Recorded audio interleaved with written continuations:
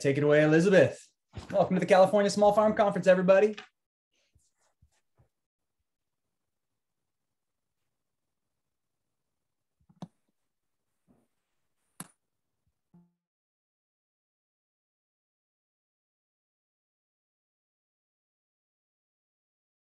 Well, I never say goodbye to the woman this time, but I left for a note.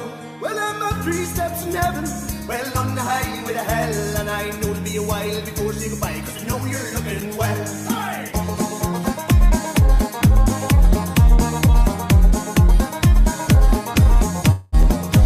It was just my luck to be given the truck with an get all the load. And vice and a hammer and adjustable spanner and a roaring V8 stove. The tachograph was turning black as I passed the London. With one eye on the road and the other on the phone, took a selfie passing by. All chains and cranes and roads and lanes and slurrying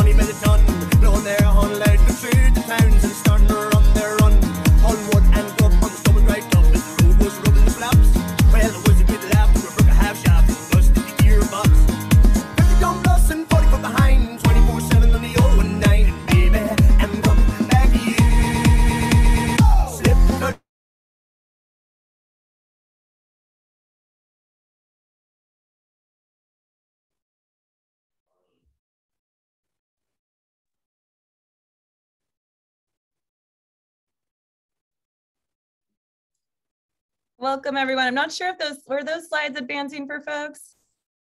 Did you guys see the slide? Oh, they weren't. Bummer. Okay. Let me, sorry, let me try to relaunch this.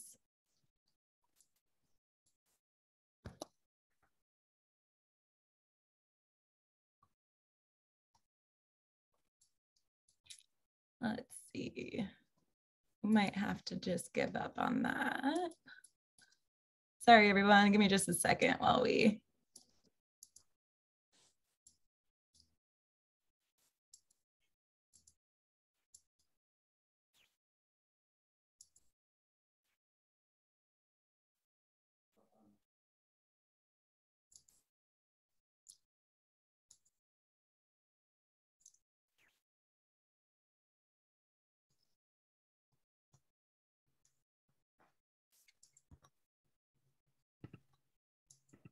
All right, apologies. That's not working right now, I don't think. we'll continue um, with our opening presentation, but welcome everyone. Just give me a second here to get our presentation up for folks. Sorry about that technical issue.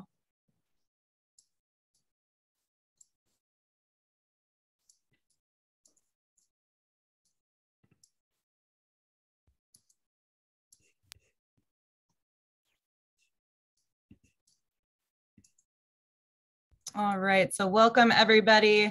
Um, and I'm gonna ask a quick tech question. I'm Ian. Um, Evan, for some reason, I can't see any of the Zoom participants when I'm sharing my um, desktop. So I'm not sure what's going on there, but we'll just keep moving forward. Um, hopefully it all is working out, but let me know if something's going on that I may not be aware of. So welcome everyone. This is our award ceremony for the 2022 Innovation Challenge. We are thrilled to have you all here to celebrate um, the awardees with us and to tell you more about the challenge. Um, I want to first make sure that we thank our sponsors and the folks who helped make this possible for the Innovation Challenge. Um, so this award ceremony is being held as part of the 34th Annual California Small Farms Conference. Um, so I want to thank all the sponsors, all the partners who have helped make this possible. We also um, had a very special sponsorship from the University of California Agriculture and Natural Resources and the Vine um, Collaborative to help bring some cash prizes um, to this year's champion. So wanted to acknowledge them and also special thank you to Johnny's Selected Seeds. Um, they were able to donate gift cards and an awesome new tool um, to the winners of this innovation challenge. Uh, so a brief overview of how our program is going to be laid out for, for everyone in attendance. We're going to do a brief intro to what the Small Farm Innovation Challenge is. We're going to do the award ceremony um, followed by the innovation presentations. You can learn more about these innovations um, and what they are and why they, they rose to the top out of all the applicants we received. Um, and then that's going to be followed by a question and answer discussion between you, the audience attendees, any judges who we have in attendance as well, and the awardees. Um, and also if the awardees want to ask each other questions, um, this will be a discussion period at the end for us all to do that. If questions are coming up for you as you hear the innovation presentations, please feel free to go ahead and drop those in the Q&A or the chat box, and we'll add that to the lineup for that portion of the program. So why is this challenge so important? Um, tools and technology can help farmers improve efficiency, slave, save labor, and connect with their customers.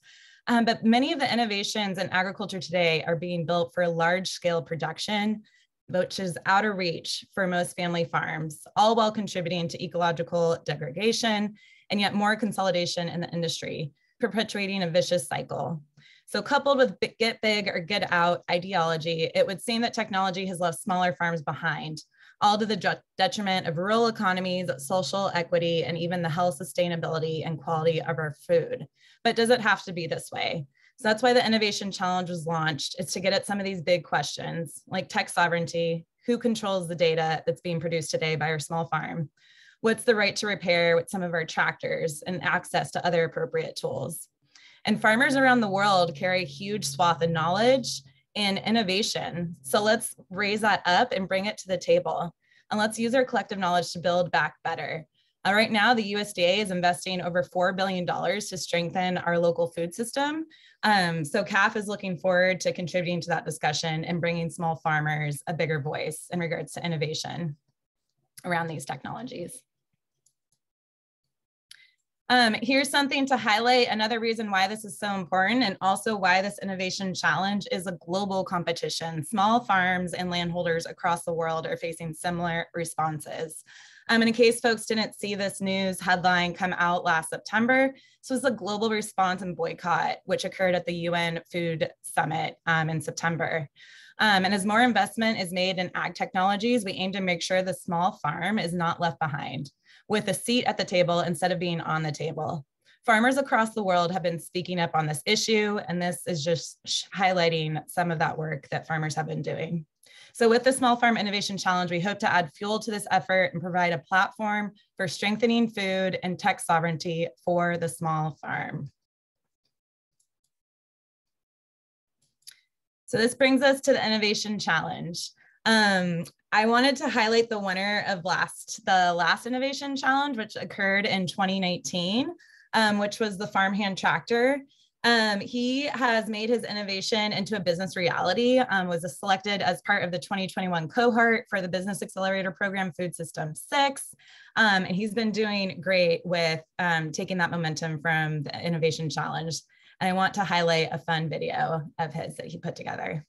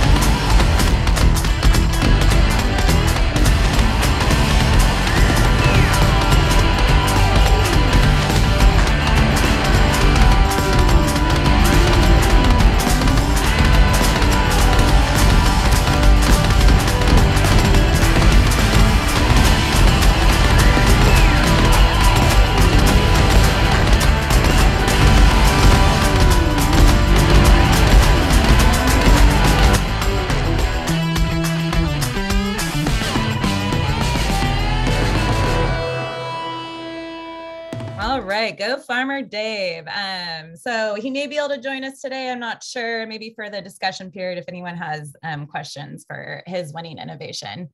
Um, wanted to highlight the judges of this year's Small Farm Innovation Challenge and thank you and thank them for their time and effort reviewing all the applications we received. Um, here's a list of all the judges that were participating on this year's selection committee. Um, and we also have a fun video note from one of them.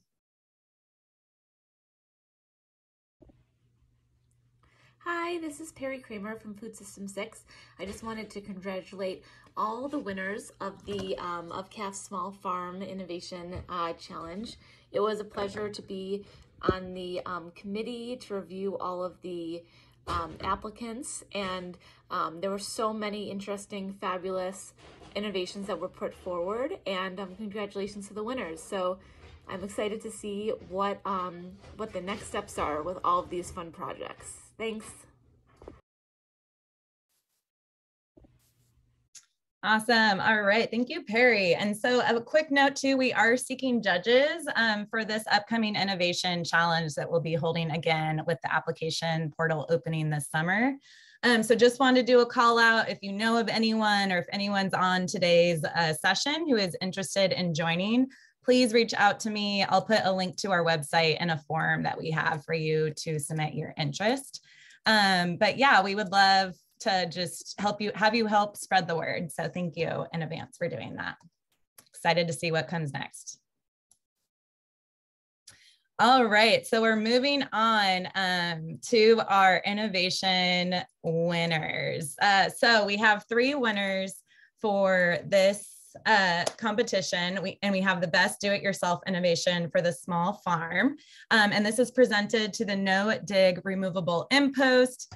Um, the innovators are Kyle Farmer and Brian Kierzan. Apologies if I'm missing your name. With um, Magruder Ranch and the, the cattle rancher um, and the ranch hand there. Um, so I'd like to give them a round of applause.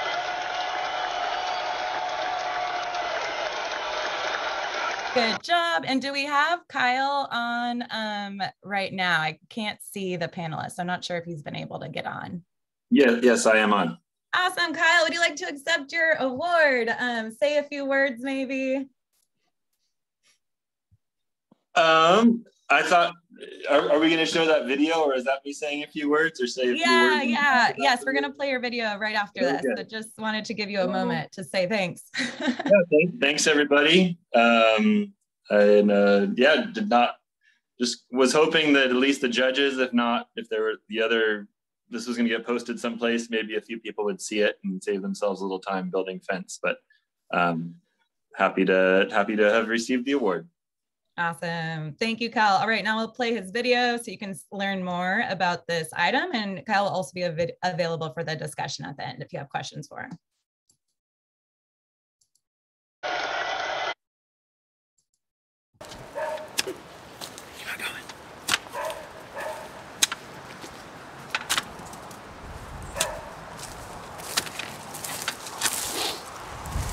You feel like you've been doing nothing but digging holes for your end post since you were five years old? camera. Take pic. I want to show you a better way that I figured out how to do this job. What do you think, Walter? Yeah.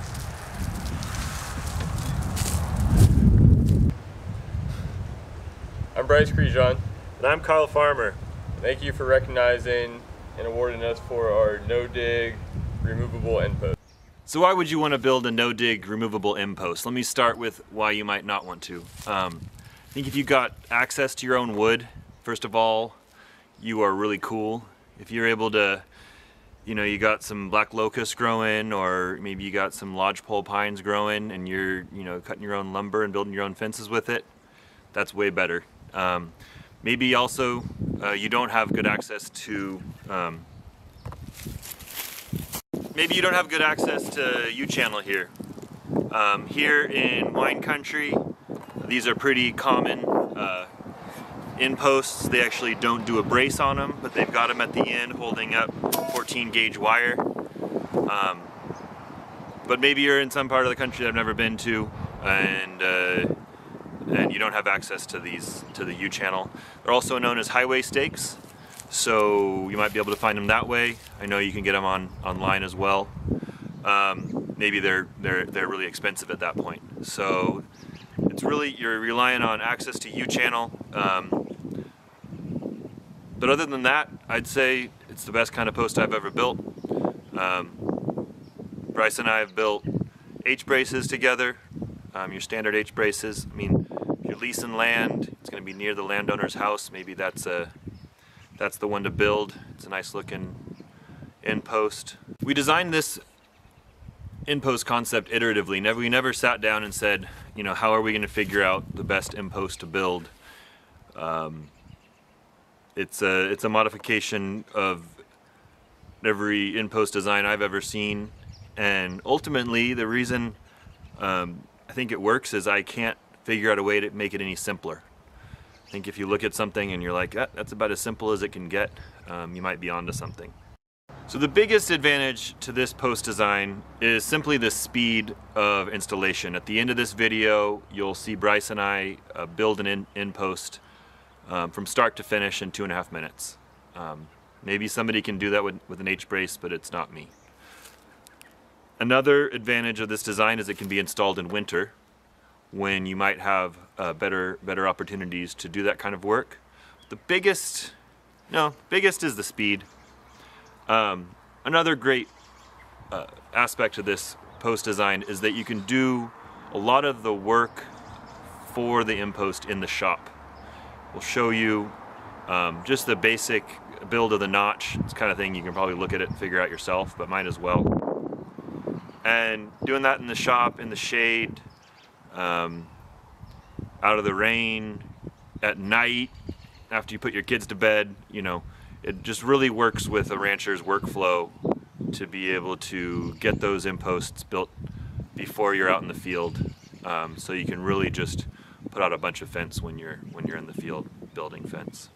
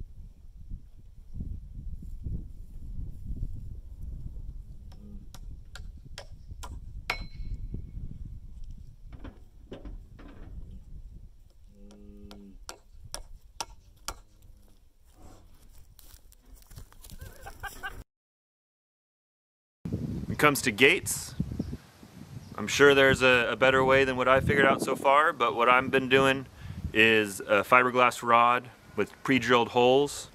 Take some of your electric netting that's already fallen apart and find some good pieces out of it. You've got yourself a gate.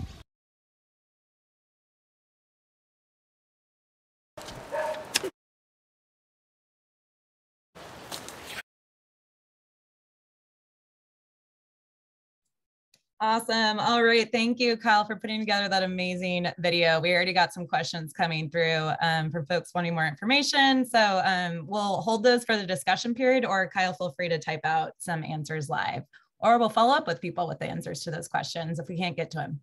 Um, all right. So moving on, um, our next prize goes to the most innovative software for the small farm awarded to Harvest Path. Um, oh, sorry for the name for Richard and Carrie Richards um, with with uh, Richard's grass fed beef.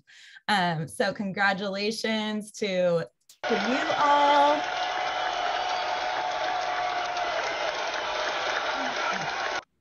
We also are able to get them a cash prize with the Johnny Seeds um, gift card. Um, and we'll now hear a presentation from what Harvest Path is. All right. Um, thank, oh, thanks so much, Elizabeth. And thank you so much. We're really honored and excited to be chosen for the uh, uh, you know innovation award. And what we're going to talk about today, uh, both my sister and I. So my name's Tom Richards. My sister Carrie Richards is okay. is on with us, and we're going to kind of go back and forth as we talk about um, our our uh, software solution that we call Harvest Path. Um, um, so with that, I'm going to hand it over to Carrie real quick and we're going to play a video.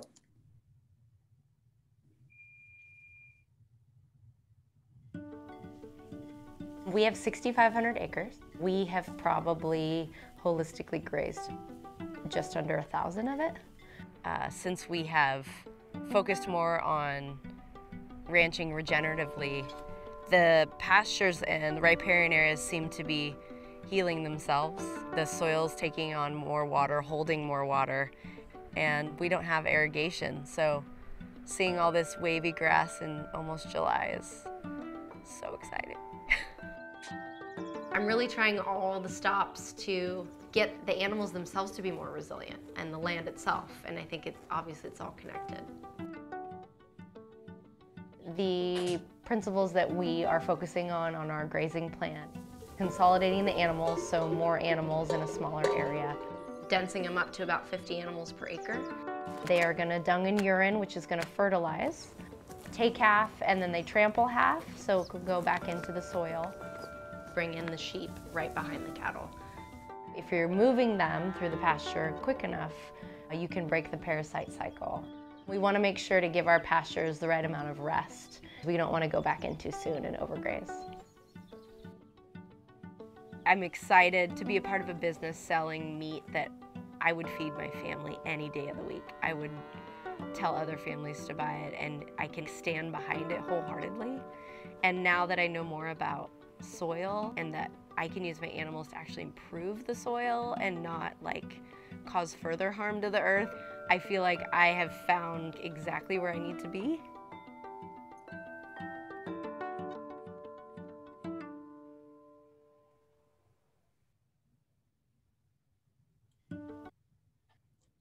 Oh, yeah, if you could go to the next slide, that'd be awesome.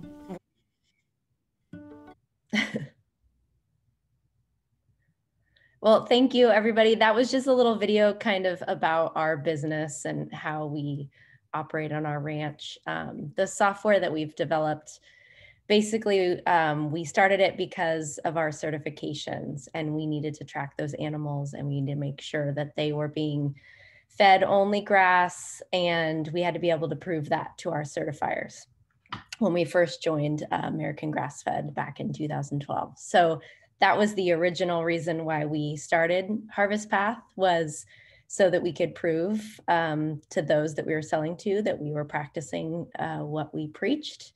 And um, so, anyway, it started there. And then eventually we moved on to taking on the uh, land to market verification, which does um, water infiltration and carbon measurements on a yearly basis.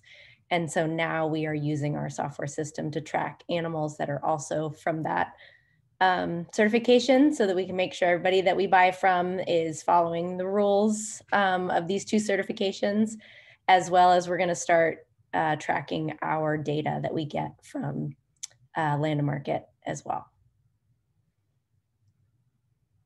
We can go to the next slide. so, um, so that's how we got started with, or the reason we kind of started trying to figure out how to track all of these records. And, you know, instead of doing it the traditional way of, you know, a piece of paper nailed to the uh, barn door, we, we decided to, to do, you know, to create our own technology because there really wasn't anything out there. And what we first started with was tracking animal records, was all of the birth records, tagging, you know, grouping them into herds, locations, audits, you know, all these kinds of things once we really started to get a handle on that, we realized we had to kind of move to the next step, which was when it's time to harvest them, you know, how do we group them? How do we track the whole harvest process, you know, all the way from, from shipping to the actual harvest to the yields and all those kinds of things. And then all of a sudden, once we had done that, we realized, wow, you know, we should track inventory. And so we kind of just went, we just kept going through the entire process until we had created, you know, a single application that tracks all of these things that you can see um, on the slide here. So, so in addition to the animals and harvests, we do all of our inventory, all of our sales. Um, we also track any further fabrication. So any, you know, creation of bricks or other CPG related products. The best thing um, in my opinion, about what we've done is actually at the end of the day, the reporting. Because when we really want to figure out what's going on, we're able to run all sorts of reports and dashboards and, and look at the data in, in so many different ways, which really helps us uh, do analysis on the business. And so um, it's been very helpful for our business. And then we're actually going to be doing some more things too, which I'll let um, Carrie talk about really quick on the coming soon? yeah, so on the ranch side, I track the animals um, as well as other animals that we have on other properties. And so the feature I use the most is the herd membership um, because there's different categories of animals. You have calves, you have mother cows, you have finishers. So I track them all in herds and make sure um, to track the supplementation for each herd and the location and the costs that are associated with each herd group.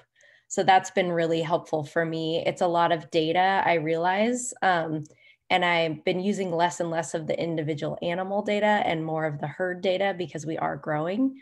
Um, but all that individual animal data is in there. So this is just a little screenshot of what an individual animal uh, data sheet looks like, and it's just part of it, and then what a herd membership looks like. So this animal was a part of the finishing herd, and they were rounded up on a couple different dates and then they were given these vaccinations. So um, it's a really helpful tool on the ranch side. Okay, you can go to the next slide. okay, and then just a little bit more, actually go, if you can go back one slide real quick. I was just gonna talk a little bit more about, whoops, the other direction. Sorry. There 18, there you go. Perfect. Um, so yeah, I just want to talk a little bit about um, the harvest process, right? So, um, you know, what we, we, we enabled was a way to put, to group, uh, to create groups of animals and basically attach them to an, a data object that we call a harvest or a harvest lot. And then at the, what's really beneficial about that is we're able to see the individual animal yields but we're also be able to roll that up at kind of a harvest lot level to see things like average carcass weight, you know, um, the yields, not just in terms of from the live animal to the box beef, but also to from live to, or so live to carcass, but also live to box beef. And then we're able to translate that all the way down to individual products individual pricing, individual cost per product. So the harvest lot, you know, is connected to the inventory item and that's connected to the costing and pricing and the products. And so th this was probably the, the most complicated piece that we built, but, um, but it's been the, the most invaluable in terms of the data that it provides to us. And then uh, if you can go to the next slide, Elizabeth. So this is just a, a sample of some dashboard or, or, a dashboard that we created. And this was really um, to track um, harvest yields. And so, you know, numbers of cattle, average live weight, um, average price, you know, all these different kinds of things, as well as numbers from each ranch. And then, and this is just a sample. We have, we have probably a hundred dashboards that we use on a daily basis to track everything from yields and sales and uh, product uh, inventory issues and things like that. So um, it's been very, very helpful. And then we'll go to the, I think this is our last slide. And so just to give you a very simple idea of the, the pieces of the supply chain that, that we've created, the green uh, bars here is the stuff that um, that we built inside of uh, our application. And, and if I didn't mention this, we built this on the Salesforce platform. And um, so the animals and stuff you heard Carrie talk about, the harvest lot process I spoke about, um, there's a portion of that once it gets to the processor that we, that we lose a little bit of transparency, but we track that manually. And then the distribution and sales, and then on the other end, on the beginning end, um, the part, we're working on now is the soil piece and the ability to track individual pastures, soil, um, uh, test sites, and then you know mapping of that, and then how that passes into the animal, which passes into the end product. And then um, on the end side is like delivery and all those kinds of things, which we have not done, and we rely on other um, um, capabilities to do that. Um, so this kind of gives you a, a single picture of, of what we've done um, in, in total. And then yeah, in the spare time that we have. yeah. Yeah. Uh, I'm excited about the soil piece. Um, I don't, you know, know how many farmers and ranchers there are here on this call, but um, when you get those awesome sheets um, from different people that do the measuring for you, or if you do it yourself, sometimes it's hard to think of like, okay, how do I take this data and then explain it to our customers?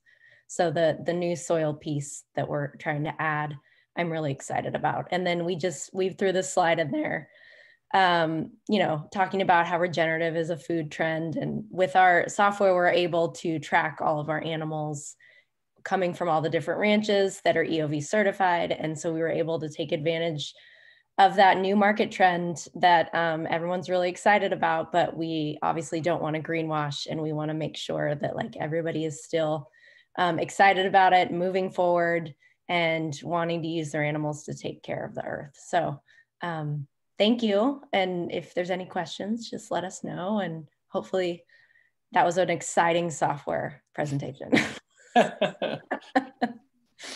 awesome thank you to you both that was great um yeah and just congratulations again on being our winner for the most innovative software uh, all right moving on so we got our most innovative hardware award for the small farm that goes to a company coming out of australia the handy um, well, the name's Curly Ag of the company, apologies, but the innovation is called Handy, which we'll learn about that in a minute.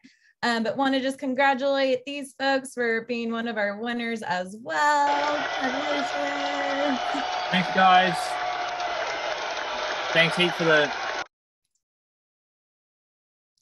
thanks, Heat, for the um, the award. I appreciate it. It's been a lot of hard work, and um, yeah, I appreciate the recognition. Great, awesome. So let's learn more about the handy.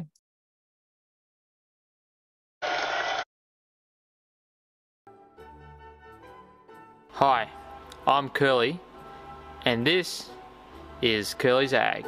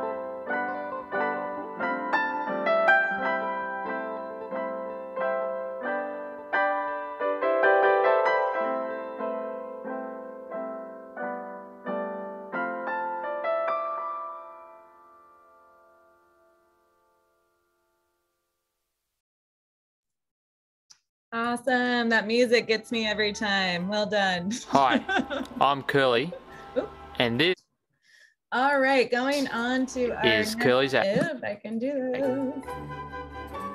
Come on.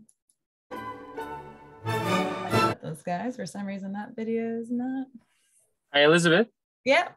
could I just say a couple of words on it now the video's played? Oh, uh, at the maybe for the discussion period. I Yeah, want to make okay. sure we have time for everyone, if that's okay. Perfect. Thank you. All right, on to the next uh, award E. Um, so this uh, wasn't, we had three winners allocated for the Innovation Challenge this year, um, but we had to bring a note to this innovation that was submitted because the judges across the board found this um, most ratings for the most economically beneficial, the most practical, um, for, for small farmers and especially with livestock um, producers. So we wanted to present this um, most economically beneficial, sorry, my, the, some of these typos, beneficial innovation is presented to the livestock yield and pricing margin tool. Um, so I wanted to congratulate them. Um, so we're having we're having the award received um, by one of their users of the tool, actually, uh, Zach with Campfire Farms.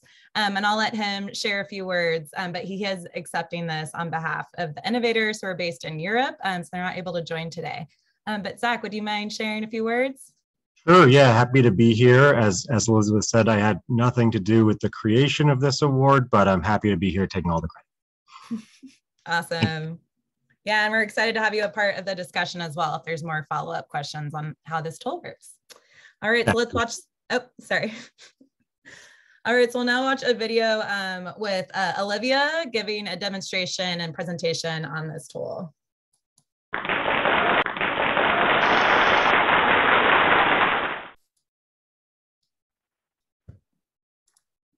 Hi, my name is Olivia Zincani, and I'm excited to be here today from afar, um, accepting our award for the Tech Innovation Challenge for our livestock yield margin and gross profit calculator.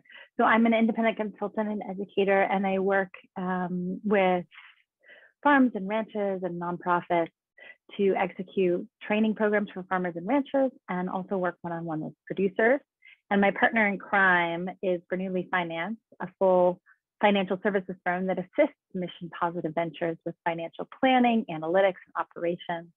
And their clients span multiple sectors, but they have a focus in food and farming as well. And as you can suspect, they are also Excel ninjas. And we work together to design curriculum, teach courses, act as a strategy and financial team of advisors for multiple organizations and producers. So over many years of working with multiple livestock producers, I realized we were looking for and always encouraging a level of analysis in all sorts of places through multiple tools and styles of analysis and platforms. And so the goal to create this calculator was to marry multiple needs, um, encourage harvest record keeping, which is the bane of everybody's existence, to join it with yield and carcass analysis and important metrics, something that many folks do once in a while and then forget about or do on a hypothetical best performing animal and never look at their actual carcass performance in a frequent frequently done yield tree.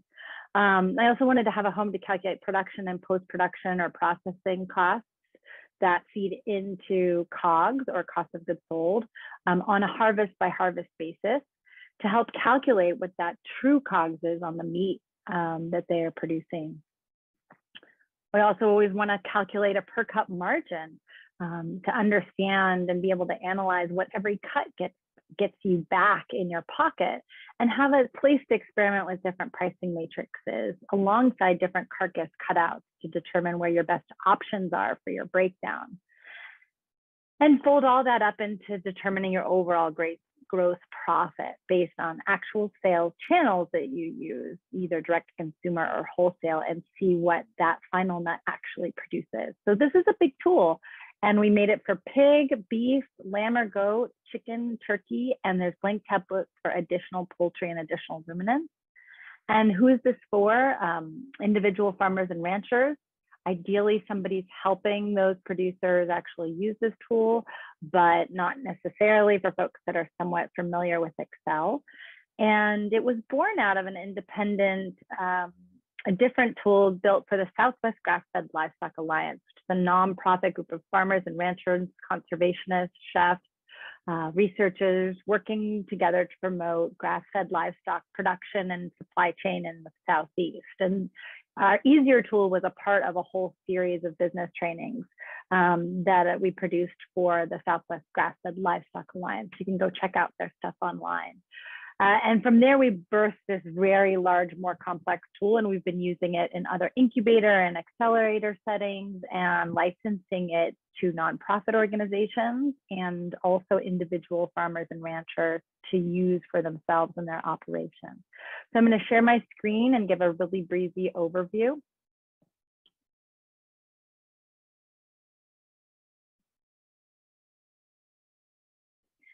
So we're going to start here on this tab, which is a direct production, uh, place to record our direct production costs. We record all of them for the whole year and then scroll down to the bottom and put the number of animals that you're raising for the year. And this gives you an average per cost per animal that uh, feeds directly into the rest of the tool. and then over here on our harvest log, we've got uh, essentially the power of the tool is the date range that we're putting in up at the top. And so harvests are recorded across time in different columns and uh, we do so by date. And then we can scroll down here to start to enter the fees that we pay um, every time we process an animal per head and per pound. So processing fees, transport fees, these are all our post-production costs. We put in the number of head that we harvest, our live weight, our hot carcass weight, and we can divide our harvest by those that we do cut and wrap for or those that we do whole carcasses for. And then we record all of the cuts that we get back from the processing if we're doing cut and wrap, um, separated by primals and totaled by primals. And it includes everything the like trim and grind and the fab drop, so fat and skin and bones and even the slaughter drop. So once we've got all of our cuts entered for every breakdown, we come back up here and we see some nice um, metrics that we look at after we've entered in our whole cutout. So the regular ones that we're used to looking at, like uh, hot carcass and live weight, shrink, but we've also got some more interesting things that are often ignored, like sellable product, which is actually your fat and bones and all of your cuts, and your red meat meal and your red meat yield. So these are things that people are looking at a little bit less frequently. Um, and these are, we're, we're actually showing the total of pounds per harvest, and then we're looking at some percentages up at the top. And we're starting to look at the costs that go into each harvest and a total, uh, a total per harvest amount. So what we're doing here is we're starting to look at some areas for our mm, own and our own enterprises, our own organizations, where our personal benchmarks get set um, by looking across all of these different harvest groups, right? So now we're going to jump over to the next tab, which is called the COGS calculator.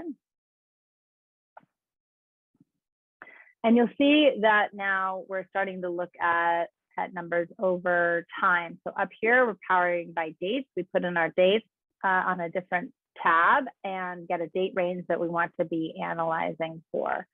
And we're looking at, you know, ideally percentages across maybe the whole year or a quarter or two years to start to evaluate your operation. So our metrics here are average per head, right? And uh, in terms of pounds, uh, live weight, hot carcass weight, sellable product, all these these jazzy these jazzy metrics that we want to get out of our, our larger time-based look and also our total pounds and our significant ratios still here in percentage. And then down at this section, we've got all of our cuts that we've entered in on the prior page and our per cut unit cost. Up here at the top, these are our, our major uh, per head averages for all of our costs. And it calculates us our true average cost per pound of sellable product, which feeds directly into our margin calculator page. So our margin calculator page is, is the main functionality is give us a place where we can show the margin on each whole or half or quarter or each cut by entering in pricing for our various different sales channels. There's a direct to consumer channel that you're entering your pricing and it, it immediately spits out your farm margin. And we've got two channels for, for wholesale as well. So if you have different pricing and two different wholesale channels. And lastly, this all gets rolled up into our animal summary page where we're, we can look at all the different species that we've got here. and most importantly, look at our gross profit that's coming out of the animals. So we've got, we power our date range up here at the top and we've got our animals split out into those we cut into carcasses and those we cut into full we'll cut and wrap breakdown. we assign those animals to different sales channels up here, either DTC or wholesale, and it tells us exactly how much we're spending in this date range on all these harvests on all these animals per head and per pound an actual total dollar amount for the number of animals that are selected in this date range. Then we've got our revenue and our gross margin, right? Our revenue less our COG. In, in per head, per pound, total dollar amount, and percentage. So essentially, you know, this is just as important to be looking at across as a, a, date range, actually more important than a single animal to see how much profit you actually have that goes back to ranch operations, right? So our gross margin is then what goes to power the, the farm and ranch itself after all of our cost of production and processing. So this is the crux of the tool, right? A holistic per head average for calculating that gross profitability per animal unit to complement all of your other accounting analysis. We can keep a hypothetical version of this tool um, and record single animal harvest and average cutouts and with different cutout styles to investigate what gets you the most profit of those cutout styles on a per head basis. We can also change the number of animals that goes through these these different sales channels here. How many if I can if I sell nine to DTC and one to wholesale or nine to wholesale and one to DTC, what happens? We can compare whole carcasses versus cuts. And the point is to really make decisions based on your averages, your own benchmarks, not based on what comes off of one exceptional animal or one or some USDA average for dressing percentages or you know the last time you recorded how much feed cost you per pound that you actually harvested. So the important thing is that you know what your operation does over time. And that's why we built this tool so that you have a place to start to record all of that. All of that. So please uh, be in touch if you're interested in looking at our our calculator. We'd love to share it with you. We're still testing it out uh, in the sense that we've got a number of producers using it, but we're always gathering feedback from more users. And thanks again to CAFF for powering this conference and this challenge.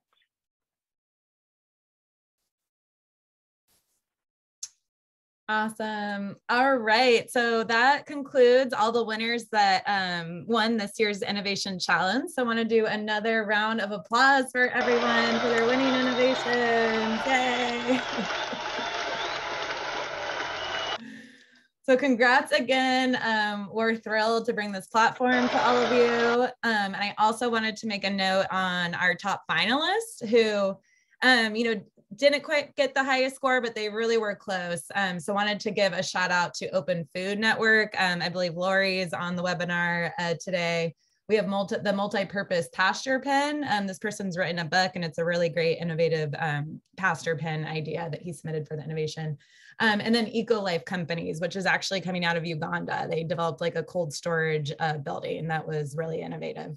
Um, so all of these we plan to highlight on our website and through CAFF's blog. Uh, so keep an eye out for all the videos and images and, and fun applications that we think can benefit many other people. So congrats again. Um, I want to, before we get into the discussion period um, between the awardees, also the audience, anyone else who's on the session today, I just want to do another thank you to our sponsors. Um, again, we were able to provide those cash prizes to this year's winners, which we're really grateful for.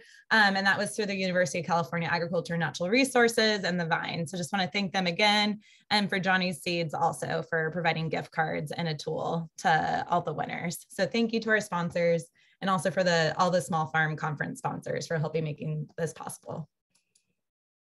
All right, so this is our Q&A discussion period. Uh, we have about 15 minutes or so. Um, so wanted to give time for audience members to ask questions, for awardees to ask questions of each other.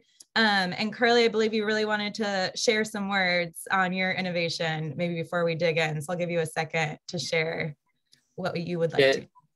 Yeah, thanks. Thanks, Elizabeth. No, I just, the presentation I presented was basically an explainer of what we are and who we do. I just wanted to quickly mention where to from here.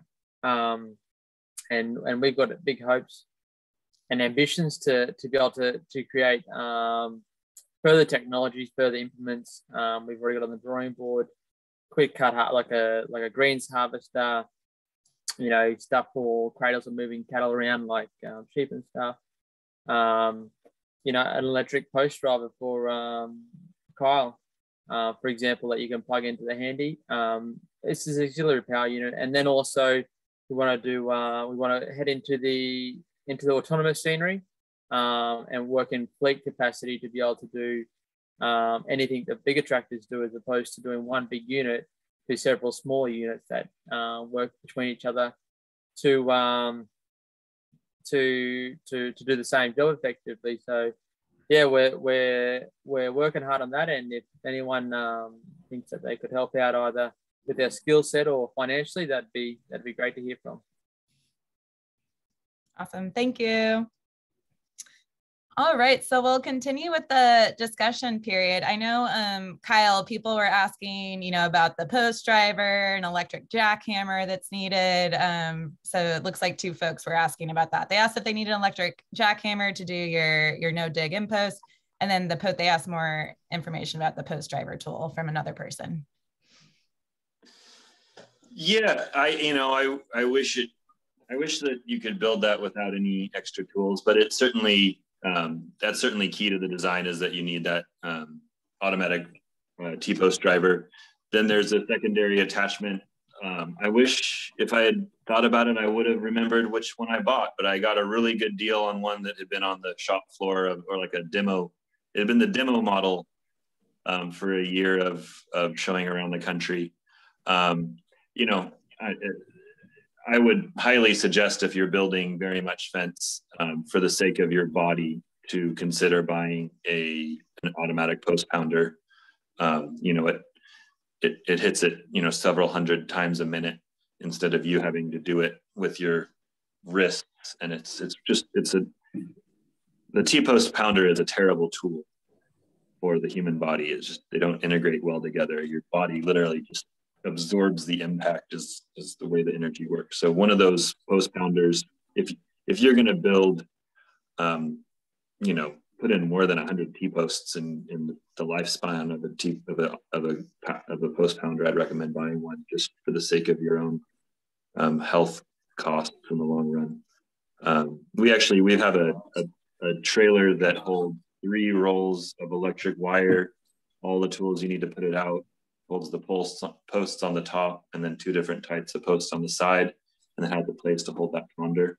And you can drive out five strands simultaneously while putting in fence. Um, and uh, yeah, uh, it, it, does require, you know, a thousand dollar outlay in, um, in capital to be able to build fence that way, but it seems worth it to me. To me, the alternative is a skid steer and a, and a post hole digger or a handy and the post hole digger on that guy. Um, and like like like you said, I, have thought a lot about that. Um, you know, if I could hook, I was actually talking to a battery chemist um, just this morning um, about how I would rather have you know an electric side by side or a handy, and then use plug-in tools off of that big battery um, than have all these small batteries that seem like they're constantly going bad. So I, I, I really I'm excited for my handy one of these days. We actually have incorporated into the handy Um, on the front of the right hand side, there's the APU output, which we hook all our powered equipment onto. And um, and that's driven from its motor controller, which the handy has incorporated into the inside of the electrical box. And basically, we've got a whole series of just dumb electrical tools from water pumps to you know post drive and stuff planned for it because it, it essentially it, and you can even run two 40 volt power tools off it because of the amount of battery that it just holds on it. Um, use for whatever you want and just have a cable from the head of that, you know, and then drop it on and then do your thing. Uh, thank you, Kyle, for answering that. And then um, since this is recorded, the chat won't be um, visible. So just want to make sure that we know that the handy sounds like it will be available in the US shortly. So congrats on that. It's already, um, sorry, we've already um, sent, we've got two orders coming from the handy in the US. Um, they're actually behind me. You can see that's one there. It's almost ready to go. And there's one, this one here is the other one ready to go to the US. So hopefully we can get them in a container this month or early next month and they'll be on their way. Awesome. Congrats on that. Um, I know there's a big livestock focus too for the innovation winners for this year. So Zach, I was kind of curious with some of these bigger investment type, you know, equipment items that are being highlighted. It sounds like this tool is able to save just farmers time and figure out where your cost savings are or what how much gross, you know, what your gross margins are to then invest maybe in future business, you know, expenses. So curious to just hear more on how the tool benefited you.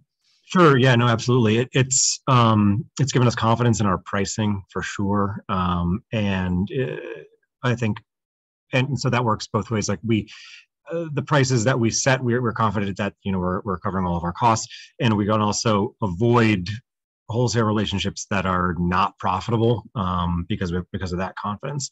Um, it's also pretty easy. To, like I've trained employees on it, and they're uh, it's no longer you know we used to have a system where they would basically like text me yield numbers as they weigh them as they check them in off uh, from the processor. We don't get like a great production report from our processor. We have to like weigh things on, back at the farm.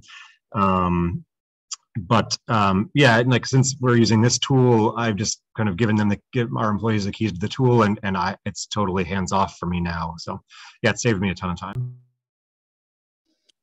Yeah, it certainly seems like, especially if you're transitioning uh, in frame size approaches to ranching, like it's really hard to keep consistent ideas about how you're doing if you're, you know, reducing the frame size of some of your animals. Um, you know, it may have been a good idea, it may not be a good idea, but if all you're seeing is how much they weigh, um, I'm sure Carrie too, convincing anybody to work with you, and they're seeing their their overall you know weight go down but maybe their yield numbers are going up um, that's a great tool to be able to see if things are working as you get more sustainable which in my opinion often means a reduction in frame size in terms of cattle absolutely. And you know as we we scaled up during covid um, things got to be you know there's just a, an abundance of data um, and we're we're, we're ha- happy to be able to use it and and we have that historical record now. Um, so uh, yeah, no, it's it's really been fantastic for it. Awesome. Yeah. And so anyone else, if you want to post any questions in the chat or the Q&A box, please feel free to. We can also take you off mute if you want to raise your hand. Um, I did want to welcome one of our other judges. I hope I'm not putting her on the spot, but I wanted to make note that Hannah is joining us. Um, uh, thank you, Hannah, for serving as a judge for this year and wanted to give you a chance to, to say any note of congratulations or any feedback or any words you'd like to to our awardees. Yeah, no, um, I was just blown away by the um, amazing diversity of different applications that we got in and the wide variety of creative solutions that different um, teams thought of. Um, I'm really excited to see the future of this innovation challenge as well. And um, yeah i'm i'm just i was really excited to be part of it. And um, thank you all for contributing your great innovations awesome thank you Thank you. Thank you. All right. Any question? Any of the awardees want to ask each other any questions? I know it's always like, you know, nice to hear what's your next steps. What's, what are you looking for um, for the next step for your innovation or for connecting to other to other partners. Would love to hear from you all on that. Um, but if there's any other questions too that come up, please feel free to ask away. I've got a question for the Richards team. Um, is it uh, how would one access this? It, it, sounds like you've this is like a custom application that you all built. Is this something that the public has access to or you do you have plans for that? Uh, yeah thanks for the question zach. So it is proprietary to us right now um, but we are actually in conversations to make it publicly available. Uh, and tbd on that. I don't know we don't have a date on that yet unfortunately that's great. Another just a quick follow-up on that. Any plans it sounds like it, i mean to me there are some applications on the pro, the processor side of things too. Is that has that come across your desk? Just just occurred to me just now. Yeah um, i think my dog wanted to ask answer that question. Uh, so uh, yeah there's there's actually a few more steps in the process um, that we're we're looking at building and one is the processor piece um, we don't own and manage our own processing facility, so um, we're we're gonna have to find a partner to do that, and that's why we're that's kind of why we're prioritizing the soil piece first.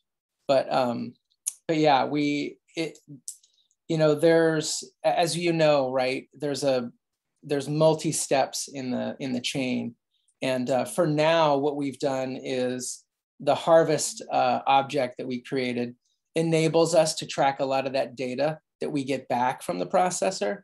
Um, in the future, ideally, it would be the processor who enters that, right? In, in, that step, and then we just get access to the data. So that's um, that's also a, a TBD in the step. Um, actually, if I can ask a quick question. So uh, Zach and I think it was Olivia, right, who did the, the demonstration. I think we you know, for for a later date, love to talk with you guys because I think there is a lot of crossover between what we've done and what you guys done have done. So I think it'd be great to um, to touch base. Yeah, I'm happy to connect you with Olivia and her team, and and yeah, I, will contribute however I however I can. yeah, no, thank you. I think the the uh, back to your soil testing bit too. I mean, I think that that is critically important, and and uh, you know, as we're all wondering what our climate impact is in agriculture, you know, I think that if there's a way that you could integrate that in a, at a really high level of confidence, I would love to see that. I'm a agronomist on the side, and and uh, it's a uh, uh, un, miss, uh, uh, a poorly understood part of what we're all doing, I'd say. Well, I, I, I completely agree with you, and I think the other the other piece of it is it's one thing to have the data, right? Um, but it's the another thing to be able to take that data and link it all the way back to the in, individual animal, and then also what uh, paddock or what dirt you know that animal was on, and then you then you really know, right? You know the the the animal that was on you know such and such paddock, you know that was super super healthy, and then it's this high yielding animal, and you over time um, you know, we've started to see, we've, we've started to be able to make that link to the animals. And then that, that next step is where the real science is, right, in the soil. I, and Carrie, I know you're probably dying to comment on that too. Um, yeah, everything he said, but a lot of it, a lot of it is we need, um, I keep saying like a spider web to throw all this uh, monitoring data into so that we can start running some equations on what this data really means because I, I, I, maybe you guys do too but we get monitoring done by multiple uh, organizations. So we'd like to not only put that all together pool it all together but also compare the data and see if they're all saying the same if they're all pointing in the same direction. Um, because some data looks better than others and some pastures look better than others. And so if we can really look down to the nitty gritty of that and then we can make some management decisions and also purchasing decisions. Yeah, I'm looking forward to continuing the conversation. I can connect you with some folks that are doing some pretty innovative stuff on the soil testing, plant sap analysis side of things too. So, um, yeah, let, let's let's connect. One, sorry, one thought that I had with that too is that these um, the the a lot of these livestock especially with soil tra- tracking capabilities could be um, potentially even used for um, um, crop systems in which um, livestock is integrated. Um, and um, that could be a really extra added element to some of these tools, um, particularly with um, tracking soil benefits from integrating livestock. Yeah, and I think that's the um, Hannah, you're you're spot on.